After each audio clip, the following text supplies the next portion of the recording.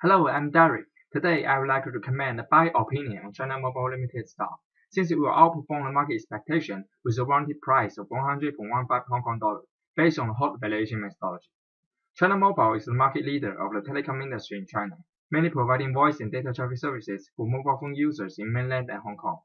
In the early 2000s, China Mobile grew up dramatically due to the booming of mobile phone users, driving up CFROI level.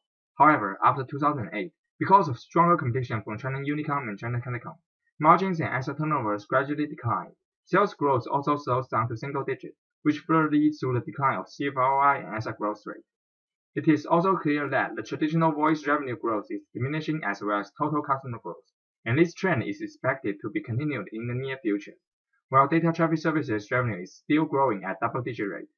On the other hand, with the recent transition from 2G to 3G technology, in which China Mobile does not possess relative advantages, the market does not look positively at its perspective.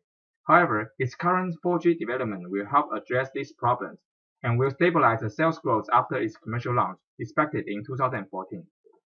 Currently, the market price implies a 1.3% CFROI after 5 years, which regards China Mobile as an already mature company.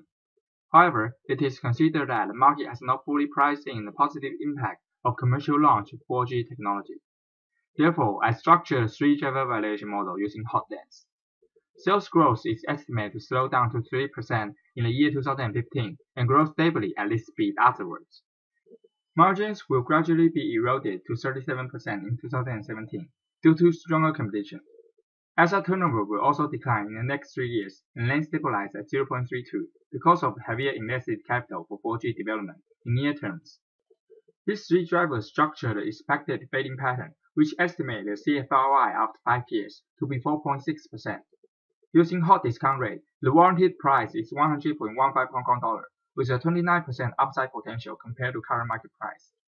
Moreover, China Mobile is relatively cheaper than the industry average in PE and EV EBITDA ratio, reflecting the over-pessimistic market emotion. Therefore, after pricing all factors, portfolio managers are recommended to buy the China Mobile stock because it will outperform the current market price with 29% upside potential. Thank you very much.